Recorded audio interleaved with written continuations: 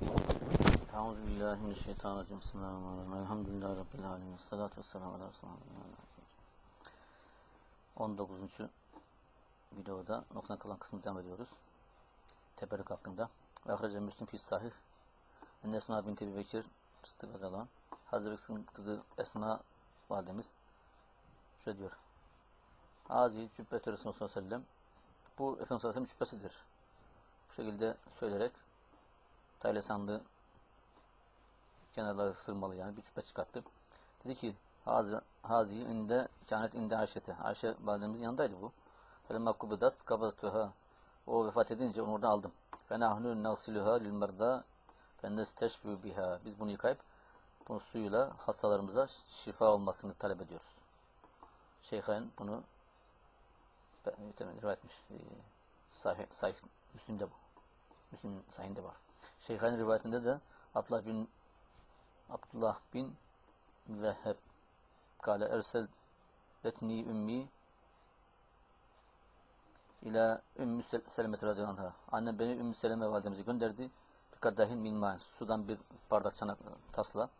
Fece fecittu bi cülcületin min fiddatin fihi şarun min fecaet bi cülcülin min fiddatin fihi şarun min şarun Nebi sallallahu aleyhi ve sellem. Ümmü Seleme validemiz ona Efendimiz Aleyhisselam'ın mübarek saçından olan bir fanus çıkarttı getirdi. Fekâne izâ esâbel insâne aynun bir insana nazar, evşeyün, başka bir hastalık yediği zaman bu ileyha ona gönderilirdi. Ve tenhadahu lehu feyeşrebe minhu. Onu ona emzirirdi, içirirdi. Ondan emerdi, içerdi yani. Bu şekilde şifa talep ederlerdi. Tattalâtü fil sülsülü o çan, çanağın içine baktım diyor. Feretü şaratin humr. Kırmızı, kırmızımsı saçlarını gördüm diyor.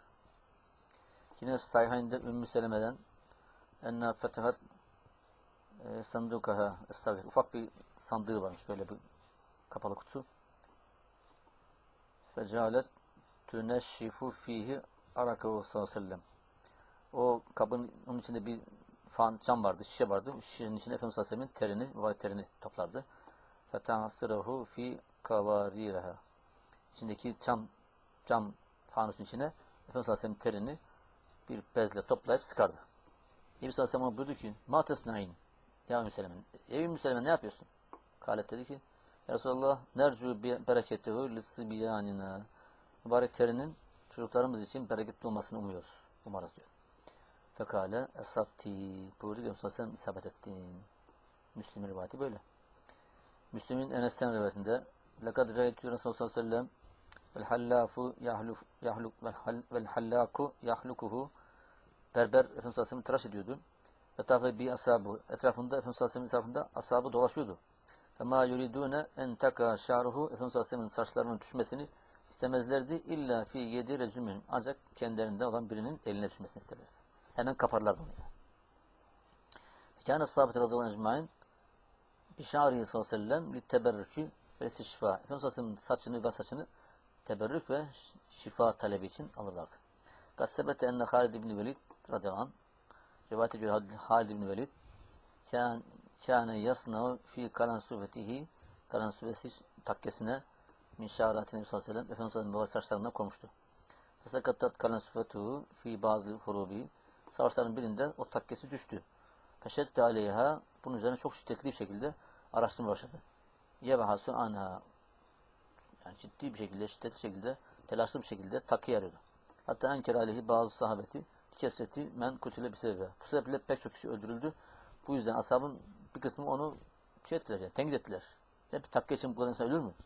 Fakat Halid, Halid, Halid, e, Halid bin Velid radıyallahu dedi ki Lem efal zalike bir sebebil kanusüveti. Bunu takki yüzüne yapmıyorum. Bel lima tedammenethu min şa'rihi sallallahu aleyhi ve sellem. Efendimiz mübarek saçı var onda. O yüzden. Killerle eslu ve bereketuha bereketi soyulup bizden alınmasın ve tekafi eydil müşrikin ve müşriklerin eline geçmesin diye.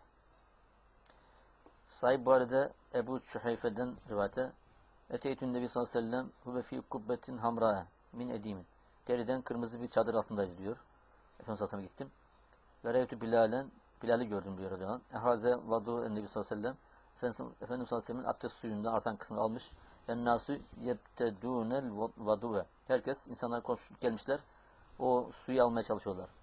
Ve nasabe minhu şeyen o sudan kime bir şey isabet ederse temsehu bihi. Onunla üzerine mesediyordu. Siliyordu. Ve men lem yusib minhu şeyen o sudan bir şey alamayan akaze min beleli sahibi o arkadaşının ıslaklığından yani kime isabet etmişse onun elindeki ıslaklığa elini sürerek ispat etmeye çalışıyordu. Yani teberrükü ve istişfa, bereketlenmek ve şifa için.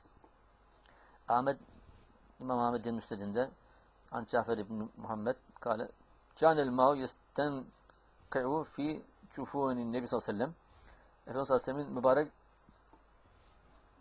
göz kapakları üzerinden su akıyordu. Fine gaseluhu onu yıkadıkları zaman Padem Mevti vefatından sonra yıkanırken su kapakları üzerinden göz kapakları üzerinden su akıyordu. Kendi Ali radıyallahu anh yahussuhu o suyu içiyordu. Emiyordu ya. ya bereket için. Rivayete göre enne muhabbete radıyallahu anh kâne indehu şey'ün min şa'rihi ve kalamete zufri, sallallahu aleyhi ve sellem. Efendimiz sallallahu aleyhi ve sellem var saçlarında ve tırnaklarının kesilmiş tırnaklarından kalan bazı şeyler vardı yanında.